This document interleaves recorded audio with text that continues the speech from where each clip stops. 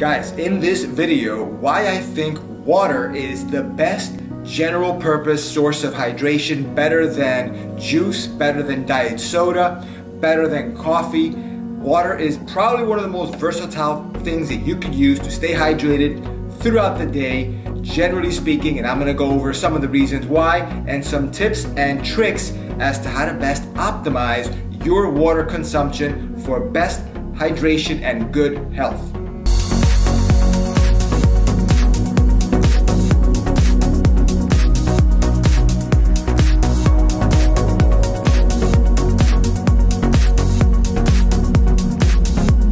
Don't worry, I'm gonna give you the weight reduction tips regarding water starting right now in the beginning of the video. Without question, one of the easiest, simplest hacks for drinking water to manage your weight or reduce your weight is to utilize water as a way to fill up your stomach prior to consuming food. The reason is that as you consume the water, it fills up in your stomach and prevents you from feeling overly hungry, which could significantly assist you in basically overcoming your hunger pains and your desire to have food that maybe is too high in calories or not that good for you containing a lot of empty sugars and calories. So water is a great way to just use it as a filler prior to your meal to avoid over consuming calories. Another way that water could help you reduce weight, and this is an important one, and that is that a lot of times people overdrink fluids, especially if they drink diet sodas or any artificially sweetened drink.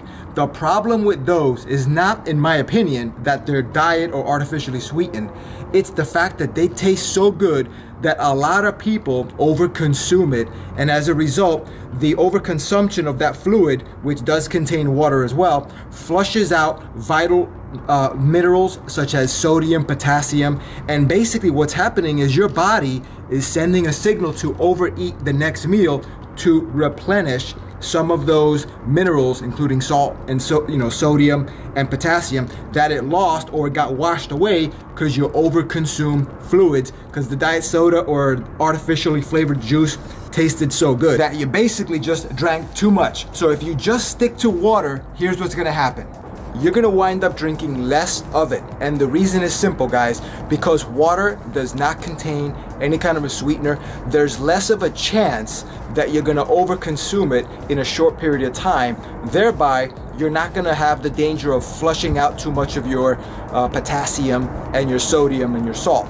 So water is a good drink, guys, but you want to be careful not to consume other drinks that are artificially sweetened that contain water but that cause you to overdrink. Drink water because you're less likely to overdrink it because it doesn't taste like candy and that's like a natural way for your body to limit its intake of fluids to a safe and acceptable level. As far as some of the other benefits of water, well, water is pretty convenient to consume and to carry around and just to have in general.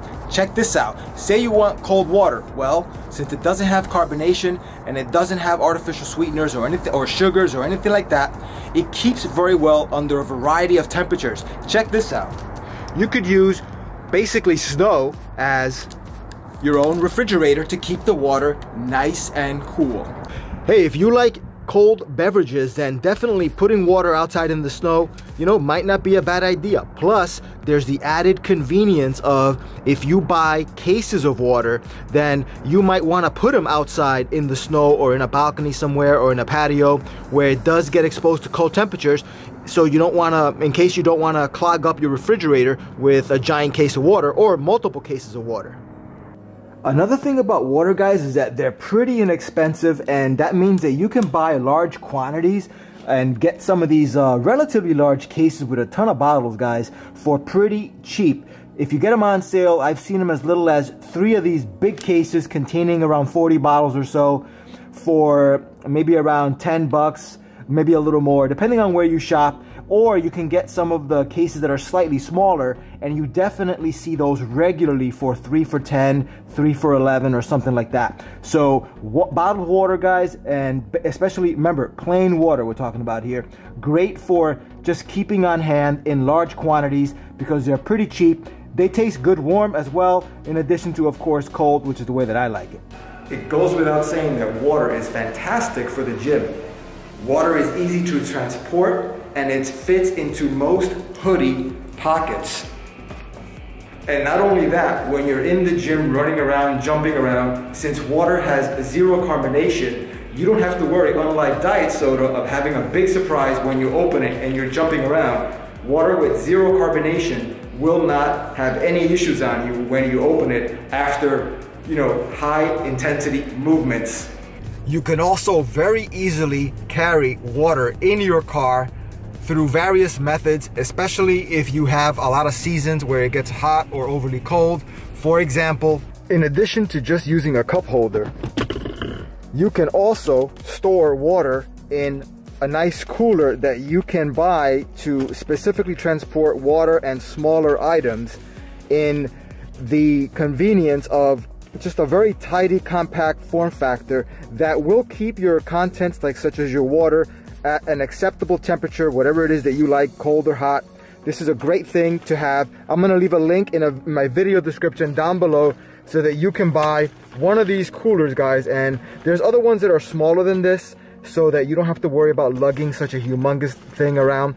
But I like this size, but I'm gonna link to some very smaller, uh, small ones that are a little bit more fashionable that you can enjoy and use and they work just the same.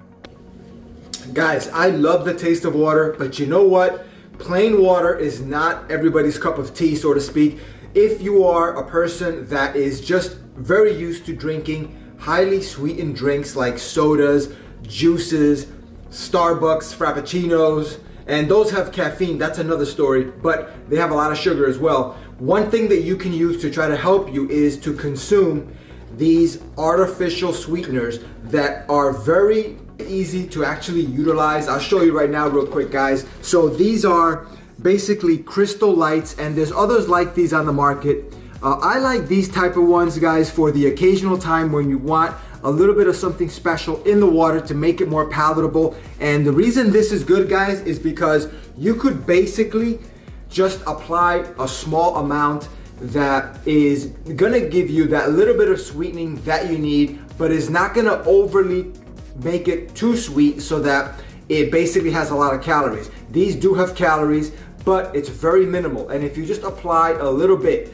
try to utilize the smallest amount possible that still gives you a taste that allows you to drink more water. So the smallest amount possible, guys. It does have calories, not a lot. Read the label because depending on the size of the container that it comes in, it could be a different calorie rating. But again, these are very low calories, and this is just a way that you can manually apply the amount of a sweetener to your water, as opposed to buying something that's already pre-sweetened.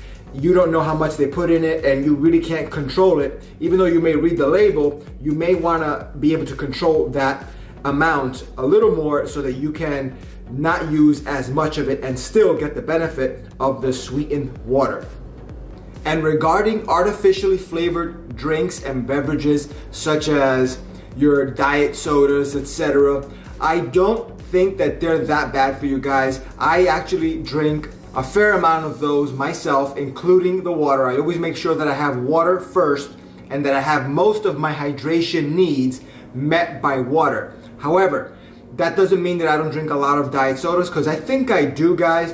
But again, not a huge amount either. So I'm, I'm doing pretty well. I monitor my health. I know that I'm doing okay because I'm drinking mostly water. And when you do that, you're not gonna overdrink diet sodas to an extreme unhealthy amount because you're getting what your body needs from the actual water. So make sure guys that you don't think that you just have to drink water. I'm just giving you an option that contains water, which is very cheap, very healthy, very versatile, easy to use, take with you different places, and it is something you can use but still have your you know, fun of drinking like diet sodas and diet beverages and things like that. And don't forget guys that one of the side effects of drinking a lot of water is that you're gonna have a ton of empty bottles and containers. So always make sure to help out the environment by keeping a recycling bag easily accessible in your home or in your car so that you can properly